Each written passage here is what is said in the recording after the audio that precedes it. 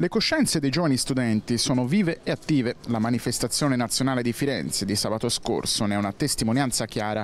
Migliaia di ragazzi sono scesi in piazza dopo gli sconvolgenti fatti del liceo Michelangelo. La lettera della preside Savino del Leonardo da Vinci ai suoi ragazzi è stata contestata dal ministro dell'istruzione Giuseppe Valditara e anche dal vicepresidente del Senato Marco Centinaio. Arriva un messaggio ai docenti di non politicizzare il proprio ruolo. Ma guardi, sta parlando con uno che quando era a scuola, visto considerato che era della Lega, veniva ghettizzato e di conseguenza le parole del sindaco Nardella le, le condivido e dico a 360 gradi e quindi la cosa che invito gli insegnanti è eh, il simbolo del partito lasciarlo a casa ogni tanto. Il rischio accorpamento degli istituti è il grande timore per il futuro della scuola italiana. I fondi scarsi inseriti nella legge finanziaria potrebbero determinare un ridimensionamento insieme al taglio dell'organico dei dirigenti scolastici.